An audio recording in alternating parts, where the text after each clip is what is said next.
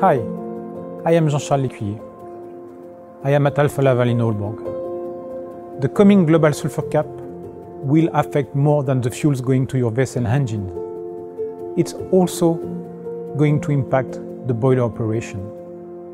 Depending of your current equipment layout and the fuel strategy you decide on, the boiler fuel lines may need to be adapted. In most cases, a double line fuel system with automated fuel changeover is the best solution.